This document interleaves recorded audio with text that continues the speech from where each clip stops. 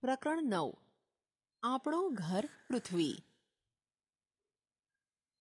આપણે જ્યાં રહીએ છીએ એ આપણું ગામ અને ઘર. આ બધું શાની ઉપર છે? આવો પ્રશ્ન આપણને સૌને થાય. જવાબ બહુ સાદો છે કે મારું ઘર અને ગામ પૃથ્વી પર આવેલું છે. એટલે પૃથ્વી આપણું વિશાળ ઘર કહેવાય. જે કેટલું વિશાળ છે નહીં? તો ચાલો આપણા વિશાળ ઘર વિશે થોડુંક જાણીએ. તમને પણ એ જાણવાનું મન થાય એ સ્વાભાવિક છે. તમને ખબર છે, આપણી પૃથ્વી એ સૌર પરિવારનું એક સભ્ય છે. વળી પાછું આ સૌર પરિવાર એટલે શું? ચાલો, હું તમને સૌર પરિવારની સમજ આપું. સૌર પરિવાર, સોલાર સિસ્ટમ. આપણો સૂર્ય મંદાકિની તારામંડળનો એક સ્વયં પ્રકાશિત તારો છે. આ તારાની આસપાસ નાના મોટા સભ્યો ગોળા રૂપે છે. આપણી પૃથ્વી એમાંનો એક ગોળો છે. આ તમામને આપણે ગ્રહો તરીકે ઓળખીએ છીએ.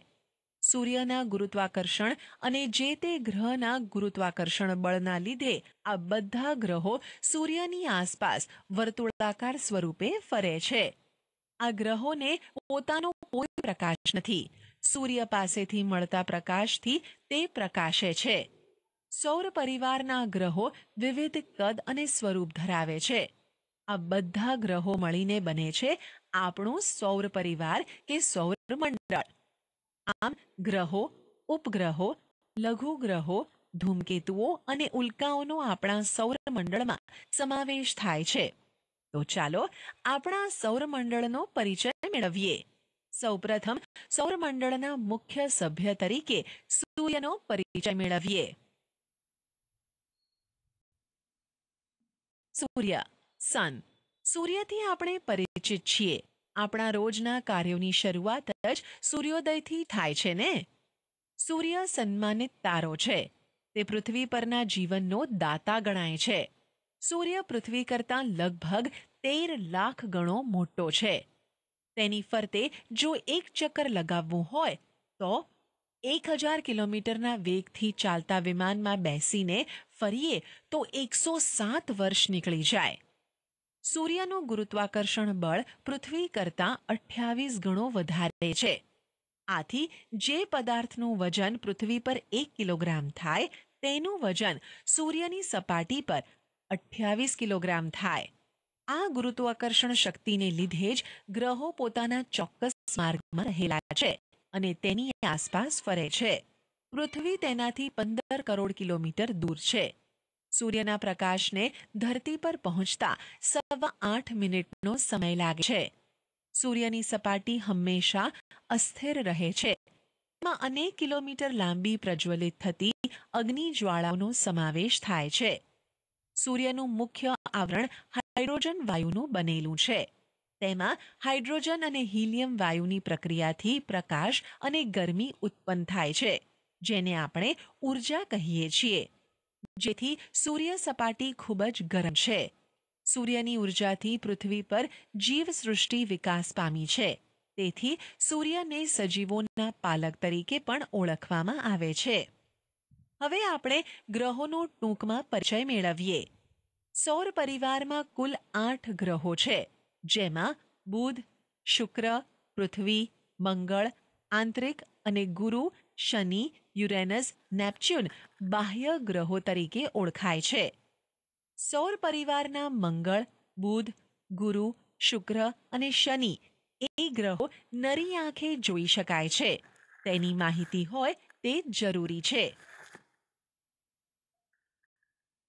એક, બુધ, મર્ક્યુરી. આ ગ્રહ સૂર્યની સૌથી નજીક છે. તે પીળાશ પડતા રંગનો છે. બુધને વાતાવરણ અને ઉપગ્રહ નથી. પૃથ્વી પરથી આપણને બુધ ગ્રહ સૂર્યોદય પહેલાં અને સૂર્યાસ્ત બાદ થોડો સમય આકાશમાં દેખાય છે. બે, શુક્ર, વિનસ. સૌર પરિવારનો સૌથી ચમકતો ગ્રહ છે. તે કદ અને વજનમાં પૃથ્વી જેવો જ છે. જાણે પૃથ્વીનો જોડિયો ભાઈ? તે ચળકાટમાં ચંદ્રને મળતો આવે છે. તેને એક પણ ઉપગ્રહ નથી. તેની આસપાસ વાયુઓ અને વાદળોના ઘટ્ટ આવરણોને કારણે તેનો અભ્યાસ બહુ થઈ શક્યો નથી. ત્રણ. પૃથ્વી. અર્થ. શુક્ર અને મંગળની વચ્ચે પૃથ્વીનું સ્થાન છે. પૃથ્વી પોતાની ધરી પર ચોવીસ કલાકમાં એક આંટો પૂરો કરે છે. જ્યારે સૂર્યની આસપાસ લગભગ ત્રણસો દિવસમાં એક આંટો પૂરો કરે છે. પૃથ્વી પર દિવસ રાત અને ઋતુઓ જેવી ઘટનાઓ ફક્ત અહીં જોવા મળે છે. પૃથ્વીને એક ઉપગ્રહ ચંદ્ર છે. ચંદ્ર, મૂન. પૃથ્વીનો એકમાત્ર ઉપગ્રહ છે. તેને પૃથ્વીની ફરતો એક આંટો પૂરો કરતા તથા પોતાની ધરી ઉપર પણ એક આંટો પૂરો કરતા આશરે ઓગણત્રીસ પોઈન્ટ પાંચ દિવસ લાગે છે. ચંદ્ર પર વાતાવરણ નથી. ચંદ્ર ઉપર પાણી અને વાતાવરણ ન હોવાથી તેના ઉપર જીવન નથી. ચંદ્ર પર પ્રકાશિત છે. ચંદ્રને સૂર્ય પ્રકાશિત કરે છે.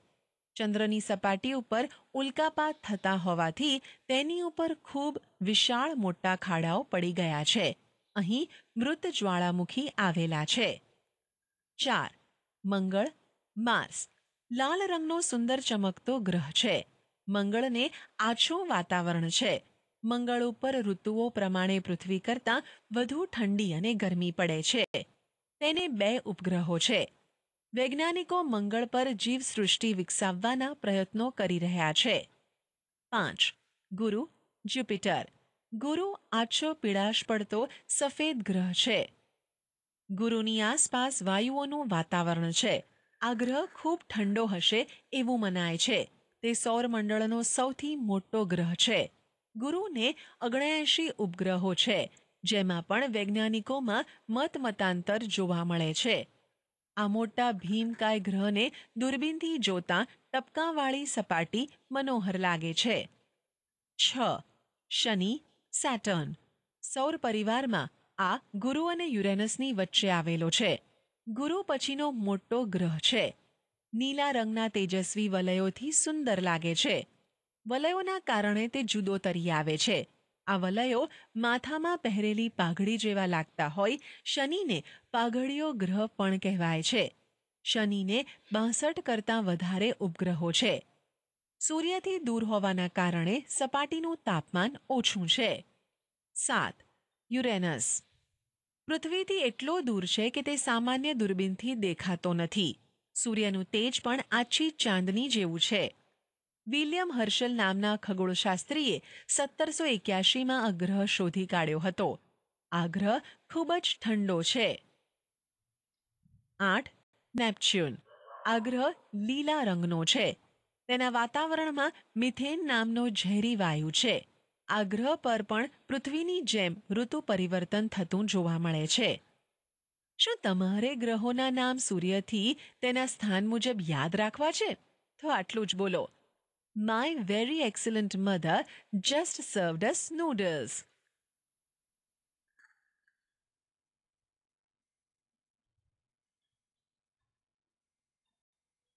ઉલ્કા મીટિયોર્સ કોઈ વાર તમે રાત્રે આકાશમાં તારા ખરતા હોય તેવું જોયું છે ને? હકીકતમાં તારા ખરતા જ નથી. અવકાશમાં ફરતા પથ્થરના નાના ટુકડા અથવા ગ્રહોના નાના ભાગો જે ઉલ્કા તરીકે ઓળખાય છે. આવા ટુકડા પૃથ્વીની નજીક આવતા ગુરુત્વાકર્ષણ બળના લીધે પૃથ્વી તરફ ખૂબ ઝડપથી ખેંચાઈ આવે છે. વાતાવરણમાં પ્રવેશતા ઘર્ષણના લીધે તે સળગી ઉઠે છે. આ વખતે આકાશમાં તેજ લીસોટો દેખાય છે. તેને આપણે તારો ખર્યો એમ કહીએ છીએ. કેટલીક પૂરેપૂરી ન સળગેલી ઉલ્કાઓ પૃથ્વી પર પડી મોટા ખાડા પાડી દે છે. મહારાષ્ટ્રનું કોઈના સરોવર આવી ઉલ્કા પડવાથી જ બનેલું હોવાનું મનાય છે. સૌરાષ્ટ્રમાં ધજાળા પાસે આવી ઉલ્કા ખરી હતી, જેનું વજન ચાલીસ કિલોગ્રામ જેટલું હતું. નક્ષત્રો, કોન્સ્ટિલેશન, કોન્સ્ટિલેશન્સ વિશાળ અર્થમાં કોઈ પણ તારાઓનો સમૂહ અથવા એકલો તારો પણ નક્ષત્ર કહેવાય. કેટલાક તારાઓના સમૂહને કારણે તેનો ચોક્કસ આકાર તૈયાર થયો છે. આમાં ક્યારેક હંસ જેવો તો ક્યારેક ગરુડ જેવો દેખાય છે. અશ્વિની, રેવતી, વિશાખા, પુનર્વસુ, મૃગશીર્ષ, રોહિણી, પુષ્પ, આર્યા, સ્વાતિ જેવા તો કુલ સત્યાવીસ નક્ષત્રો આવેલા છે. આકાશમાં ચંદ્રની આસપાસ બે ત્રણ નક્ષત્રો ઓળખવા ચંદ્રને જોતા રહેવું પડે. નક્ષત્રોને યાદ રાખવા મુશ્કેલ છે, પરંતુ વારંવાર જોવા અને સમજવાથી તે સહેલાઈથી યાદ રાખી શકાય છે. કેટલાક નામ તો શુભ કાર્યો સાથે યાદ રહી જાય છે, જેમ કે પુષ્ય નક્ષત્રમાં સોના ચાંદીની ખરીદી કરવામાં આવે છે. આ વાત થઈ આપણા સૌર પરિવાર, એટલે કે સૌર મંડળની તમારે પૃથ્વી વિશે વધુ જાણવું છે ને? તો ચાલો. પ્રવૃત્તિ. તમારી નોટબુકમાં તમને ગમે તે તરફ સૂર્ય દોરો. ત્યાંથી શરૂ કરી સૂર્યમંડળ બનાવો અને સૂર્યમંડળ વિશે લખો. પૃથ્વીનું સ્થાન અને આકાર. આપણે સૂર્ય અને ચંદ્રને થમતા જોઈએ છીએ. કેવા સરસ મજાના તેજસ્વી દેખાય છે ને? આપણી પૃથ્વી પણ આવો જ એક ગોળો છે. તેનો આકાર ગોળ છે. તે બંને ધ્રુવોથી થોડી ચપટી છે.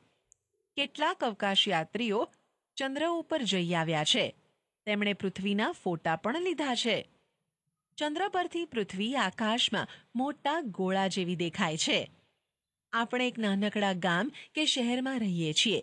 વળી, આપણે જે ભાગને જોઈ શકીએ છીએ, તે પૃથ્વીનો ખૂબ નાનકડો ભાગ હોય છે.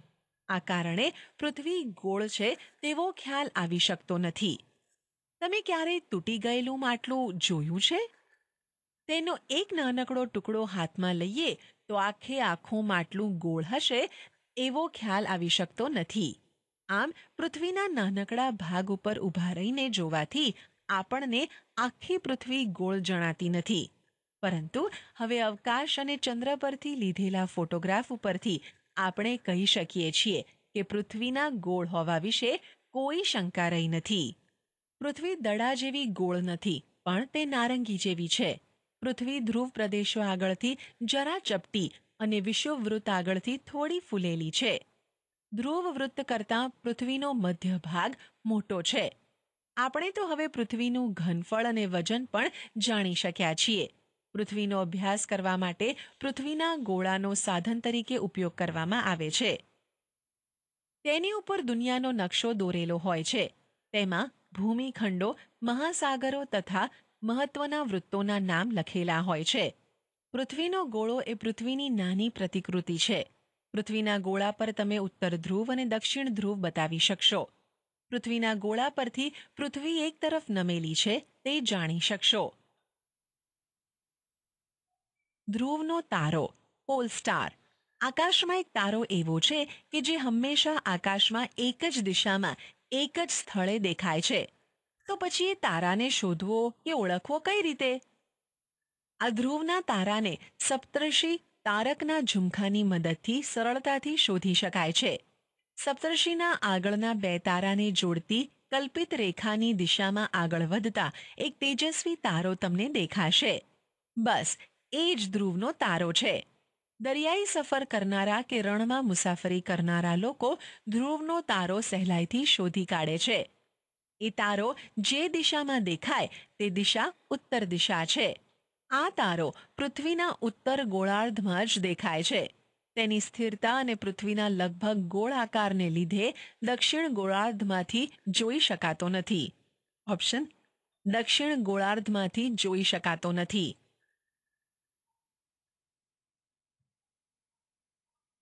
અક્ષાંશ રેખાંશ લેટિટ્યુડ લોંગિટ્યુડ પૃથ્વીના ગોળા ઉપર આડી અને ઊભી કાલ્પનિક રેખાઓ છે. પરંતુ આ કલ્પિત રેખાઓ દ્વારા પૃથ્વીના કોઈ પણ સ્થળનું ચોક્કસ સ્થાન અને સમય જાણી શકાય છે. જમીન પર આ રેખાઓ હોતી નથી. આ રેખાઓ માત્ર નકશામાં જ જોઈ શકાશે. અક્ષાંશ. પૃથ્વીના ગોળા પર દોરેલી આડી કાલ્પનિક રેખાઓને અક્ષાંશ કહેવામાં આવે છે. પૃથ્વીની સપાટી પરના કોઈ પણ સ્થળને જો સીધી રેખાથી પૃથ્વીના કેન્દ્ર સાથે જોડવામાં આવે, તો તે રેખાથી વિષવવૃત્તીય કાલ્પનિક સપાટી સાથે કેન્દ્ર આગળ જેટલા અંશનો ખૂણો થાય, તેટલો તે સ્થળનો અક્ષાંશ બને છે. અક્ષાંશ વૃત્તોની કુલ સંખ્યા એકસો એક્યાશી છે. જાણવા જેવું. બે અક્ષાંશ વૃત્તો વચ્ચે વાસ્તવિક જમીન સપાટી પર આશરે એકસો અગિયાર કિલોમીટરનું અંતર હોય છે. અક્ષવૃત્ત. પૃથ્વી ઉપર ઉત્તર અથવા દક્ષિણ ગોળાર્ધમાં વિષવવૃત્તથી સરખા કોણીય અંતરે મળેલા સ્થળોને જોડનારું પૂર્વ પશ્ચિમ સળંગ વર્તુળને અક્ષવૃત્ત કહેવાય. રેખાંશ. પૃથ્વીના ગોળા ઉપર દોરેલી ઊભી કલ્પિત રેખાઓને રેખાંશ કહેવામાં આવે છે. રેખાંશ ધ્રુવ પાસે એકબીજાને મળે છે. ધ્રુવ તરફ જતા આ રેખાઓ એકબીજાની નજીક આવતી જાય છે. કુલ રેખાંશ વૃત્તની સંખ્યા ત્રણસો સાહીઠ છે, જેમાં શૂન્ય અંશ રેખાંશ અને એકસો એંશી અંશ રેખાંશ મહત્વના છે.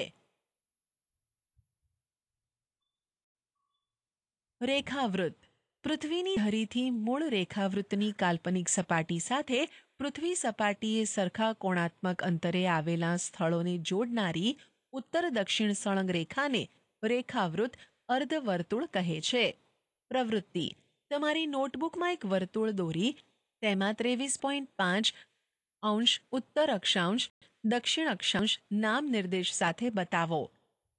સાથે શૂન્ય અંશ અક્ષાંશનું નામ નિર્દેશ કરી બતાવો. પૃથ્વીની સપાટી પર મધ્યમાં એક આડી રેખા દોરેલી છે, તે જુઓ. એ રેખા વિષવવૃત્ત છે. વિષુવવૃત્ત પૃથ્વીના બે સરખા ભાગ કરે છે. વિષુવવૃત્તથી ઉપરનો એક ભાગ એ ઉત્તર ગોળાર્ધ અને દક્ષિણ તરફનો ભાગ દક્ષિણ ગોળાર્ધ છે. આમ, ઉત્તર તરફના ઉત્તર અક્ષાંશ અને દક્ષિણ તરફની રેખાઓ દક્ષિણ અક્ષાંશ કહેવાય છે. વિષુવવૃત્તથી ઉત્તરે ત્રેવીસ પોઈન્ટ પાંચ અંશ કર્કવૃત્ત અને વિષુવવૃત્તથી દક્ષિણે ત્રેવીસ પોઈન્ટ પાંચ અંશ દક્ષિણ અક્ષાંશ રેખાને મકર વૃત્ત કહે છે. આ જ પ્રમાણે વિષુવવૃત્તથી ઉત્તરે છાસઠ પોઈન્ટ પાંચ અંશ ઉત્તર અક્ષાંશ રેખાને ઉત્તર ધ્રુવ વૃત્ત આર્કટિક સર્કલ અને વિષુવવૃત્તની દક્ષિણે છાસઠ પોઈન્ટ પાંચ અંશ દક્ષિણ અક્ષાંશ રેખાને દક્ષિણ ધ્રુવ વૃત્ત એન્ટાર્કટિક સર્કલ કહે છે. વિષુવવૃત્તની ઉત્તરમાં કર્કવૃત્ત સુધી તેમજ દક્ષિણમાં મકરવૃત્ત સુધી દેખાતી સૂર્યની ગતિને અયન કહેવાય છે. તેથી આની વચ્ચેના વૃત્તોને અયન વૃત્તો કહેવાય છે. સૂર્યની આ ગતિને છ મહિના જેટલો સમય લાગે છે. પૃથ્વી છાસઠ પોઈન્ટ પાંચ અંશના ખૂણે નમેલી છે. આથી સૂર્યના કિરણો કર્કવૃત્ત અને મકરવૃત્ત વચ્ચે લગભગ સીધા પડે છે. જાણવા જેવું ત્રેવીસ પોઈન્ટ પાંચ અંશ ને ત્રેવીસ ડિગ્રી અને શૂન્ય પોઈન્ટ પાંચ મિનિટ તરીકે વંચાય છે. GPS global positioning system global positioning system દ્વારા મોબાઈલ ફોન અને ગૂગલ અર્થ મારફતે આપણને કોઈ પણ સ્થળના અક્ષાંશ અને રેખાંશ જાણવા મળે છે. ઇન્ટરનેટની સુવિધાવાળા મોબાઈલ વડે જે તે સ્થળના અક્ષાંશ અને રેખાંશ મળી જાય છે. આજે તો આ સિસ્ટમ દ્વારા અક્ષાંશ, રેખાંશ ખૂબ સહેલાઈથી જાણી શકાય છે. મુખ્ય રેખાંશ વૃત્તો. એક Greenwich Greenwich mean time GMT રેખા. ગ્રીનિચ રેખા. ઇંગ્લેન્ડના ગ્રીનિચ શહેર પાસેથી પસાર થતી શૂન્ય અંશ રેખાંશ વૃત્તને ગ્રીનિચ રેખા કહે છે. ગ્રીનિચ રેખાથી પૃથ્વીના પૂર્વ અને પશ્ચિમ એમ બે ભાગ પડે છે, જે પૂર્વ ગોળાર્ધ અને પશ્ચિમ ગોળાર્ધ તરીકે ઓળખાય છે. ગ્રીનિચ રેખાની એકસો એંશી અંશ પૂર્વમાં પૂર્વ રેખાંશ અને એકસો એંશી અંશથી પશ્ચિમમાં પશ્ચિમ રેખાંશ ગણવામાં આવે છે. બે, આંતરરાષ્ટ્રીય દિનાંતર રેખા ઇન્ટરનેશનલ ડેટ લાઇન રેખાંશ વૃત્તને આંતરરાષ્ટ્રીય દિનાંતર રેખા કહે છે. આ રેખાંશ વૃત્ત માત્ર એક જ છે. આ રેખા ઓળંગતા તારીખ અને વાર બદલાય છે. તે પેસિફિક મહાસાગરમાંથી પસાર થાય છે. તે કેટલાક સ્થળોએ બરાબર એકસો એંશી અંશ પર નથી વાંકી ચૂકી છે. તેનું કારણ એ છે કે જો તેની સિદ્ધિ દોરવામાં આવે, તો એક જ દિશાના કેટલાક ટાપુ પર એક જ દિવસે બે વાર અને બે તારીખ ભેગી થઈ જાય. કેટલીક જગ્યાએ એક ટાપુ પર બીજી તરફ જતાં તારીખ બદલાઈ જાય અને સમય તથા તારીખનો ગોટાળો થાય. આ નિવારવા આ રેખાના માર્ગમાં આવતી જમીન બાજુ પર રાખીને તેને સમુદ્ર તરફ ફેરવી છે, એટલે કે તે વાંકી ચૂકી છે. કટિબંધો, ઝોન. બાજુની આકૃતિ પરથી પૃથ્વીના તાપમાન પ્રકાશ ગરમી અને ઠંડીના આધારે સ્પષ્ટ રીતે જુદા જુદા વિભાગોમાં વહેંચાઈ જાય છે, જેને કટિબંધો કહે છે. વધારે તેમજ ઓછા પ્રકાશ અને ગરમી મેળવતા ભાગોને નીચે મુજબ ત્રણ ભાગમાં વહેંચવામાં આવેલા છે. ઉષ્ણ કટિબંધ ટ્રોપિકલ ઝોન અતિશય ગરમી. સમશીતોષ્ણ કટિબંધ ટેમ્પરેટ ઝોન સપ્રમાણ ગરમી, ઠંડી. શીત કટિબંધ પોલાર ઝોન, સખત ઠંડી. પૃથ્વીની ગતિના પ્રકાર. બધા ગ્રહોની જેમ પૃથ્વીની પણ ફરવાની બે પ્રકારની ગતિ છે. એક, પરિભ્રમણ, રોટેશન. ભમરડો પોતાની ધરી પર ફરે છે. તેમ પૃથ્વી પોતાની ધરી પર પશ્ચિમથી પૂર્વ દિશામાં ફરે છે. પૃથ્વીની આ ગોળ ચક્કર લગાવવાની ગતિ દૈનિક ગતિ કહેવાય છે. તેને પરિભ્રમણ પણ કહે છે.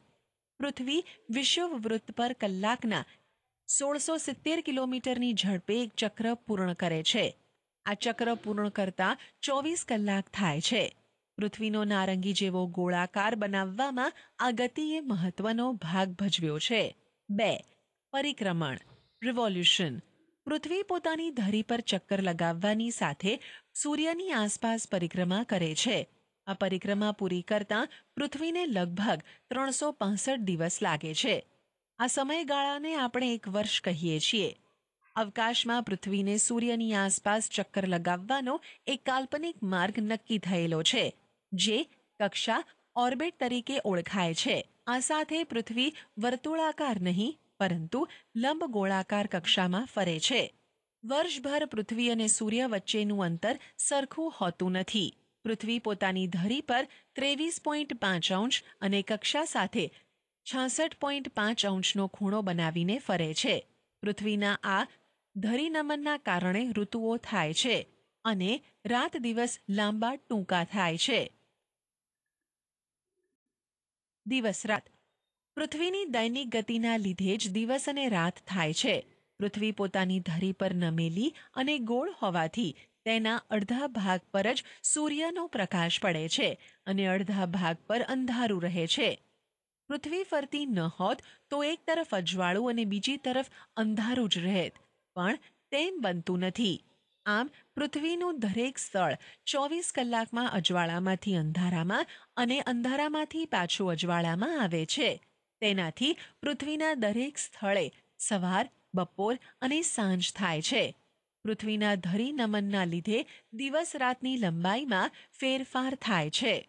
એકવીસમી જૂને કર્કવૃત્ત અને બાવીસમી ડિસેમ્બરે મકરવૃત્ત પર સૂર્યના કિરણ બરાબર સીધા પડે છે. જ્યાં સૂર્યના કિરણો સીધા પડે છે, ત્યાં અને તેની નજીકના વિસ્તારોમાં દિવસ લાંબા અને રાત ટૂંકી રહે છે. જ્યાં સૂર્યના કિરણો ત્રાંસા પડે છે, ત્યાં દિવસ ટૂંકો અને રાત લાંબી રહે છે.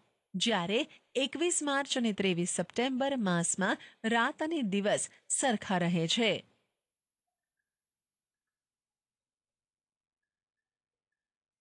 પ્રવૃત્તિ. આકૃતિ નવ પોઈન્ટ બારનું અવલોકન કરી જવાબ આપો. એક, બાવીસમી ડિસેમ્બરે દિવસ અને રાતની લંબાઈની સ્થિતિ શું હશે? બે, એકવીસમી માર્ચ અને ત્રેવીસમી સપ્ટેમ્બરની વિશેષતા શું છે? ઋતુઓ. પૃથ્વી ધરી પર નમેલી હોવાથી ઉત્તર ધ્રુવ અને દક્ષિણ ધ્રુવ વારાફરથી સૂર્યની સામે આવે છે. સૂર્યના કિરણો વિશ્વવૃત્તની ઉત્તરે કે દક્ષિણે સીધા પડે છે. આમ થવાથી દિવસ રાતમાં તફાવત પડે છે. આથી વધારે સમય સૂર્યપ્રકાશ મેળવતા વિસ્તારોમાં ઉનાળો અને ઓછો સમય સૂર્યપ્રકાશ મેળવતા વિસ્તારોમાં શિયાળો અનુભવાય છે. તે જ સમયે દક્ષિણ ગોળાર્ધમાં શિયાળામાં ઋતુ અનુભવાય છે, જે માનવ જીવનને સીધી અસર કરે છે. પ્રવૃત્તિ. પૃથ્વીના ગોળાની મદદથી ભારતમાં ઉનાળો હોય તો નીચે આપેલા દેશોમાં કઈ ઋતુ હશે તે શોધો. એક, અમેરિકા. બે, ઓસ્ટ્રેલિયા. ત્રણ, શ્રીલંકા. ચાર, ઇંગ્લેન્ડ. પાંચ, ભૂટાન. છ, બ્રાઝિલ. ઉત્તરાયણ. બાવીસમી ડિસેમ્બરથી સૂર્યના સીધા કિરણો ઉત્તર તરફ, એટલે કે વિષુવવૃત્ત તરફ પડવાના શરૂ થાય છે. આમ, ઉત્તરાયણ બાવીસમી ડિસેમ્બરે થાય છે. ચૌદમી જાન્યુઆરીએ સૂર્ય મકર રાશિમાં પ્રવેશે છે, માટે મકર સંક્રાંતિ કહેવાય છે. દક્ષિણાયન. બાવીસમી જૂનથી સૂર્યના સીધા કિરણો કર્કવૃત્તથી ખસીને દક્ષિણ તરફ, વિષુવવૃત્ત તરફ પડવાનું શરૂ થાય છે, જેને દક્ષિણાયન કહે છે. સંપાત ઇક્વિનોક્સ. વર્ષમાં બે વખત એકબીજાને છેદે છે. આ છેદન બિંદુને સંપાત દિવસ કહેવામાં આવે છે. સંપાત દરમિયાન સૂર્ય ઉત્તર તરફ ખસતા જતાં ઉત્તર ગોળાર્ધમાં બાવીસમી માર્ચથી દિવસની લંબાઈ વધતી અને રાત ટૂંકી થતી જાય છે. ઉત્તર ગોળાર્ધમાં એકવીસમી જૂન વર્ષનો લાંબામાં લાંબો દિવસ અને ટૂંકામાં ટૂંકી રાત હોય છે. સૂર્ય દક્ષિણ તરફ ખસતા જતાં દક્ષિણ ગોળાર્ધમાં ચોવીસમી સપ્ટેમ્બરથી દિવસની લંબાઈ વધતી જાય છે અને રાત ટૂંકી થતી જાય છે.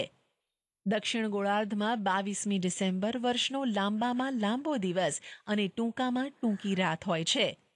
વર્ષ દરમિયાન એકવીસમી માર્ચ અને ત્રેવીસમી સપ્ટેમ્બર એ સૂર્યના કિરણો વિષુવવૃત્ત ઉપર સીધા પડતા હોય, રાત અને દિવસ સરખા થાય છે, જે વિશ્વ દિન તરીકે ઓળખાય છે. લીપ વર્ષ, લીપ યર. પૃથ્વીનું એક વર્ષ એટલે ત્રણસો દિવસ અને છ કલાક. પણ ચોથા ભાગના દિવસની ગણતરી કરવાનું અગવડ ભરેલું હોવાથી ત્રણસો પાસઠ દિવસે વર્ષ પૂરું કરીએ છીએ. બાકી બચેલા છ કલાક દર ચાર વર્ષે ફેબ્રુઆરી મહિનામાં એક દિવસ વધારીને એટલે કે અઠ્યાવીસ દિવસને બદલે ઓગણત્રીસ દિવસ કરી સરભર કરીએ છીએ. તે વર્ષને લીપ વર્ષ કહીએ છીએ. પ્રવૃત્તિ. આપના શિક્ષકની મદદથી લીપ વર્ષની ગણતરી કેવી રીતે થાય છે તે વિગતો જાણો. ગ્રહણ, એક્લિપ્સ. આપણને સૂર્ય અને ચંદ્ર તરફથી પ્રકાશ મળે છે. સૂર્ય સ્વયં પ્રકાશિત છે અને ધગધગતો ગોળો છે. ચંદ્ર પરપ્રકાશિત છે જે સૂર્યના પ્રકાશથી પ્રકાશિત છે. જુદા જુદા દિવસે પૃથ્વી તરફ પ્રકાશિત ભાગ દેખાય છે.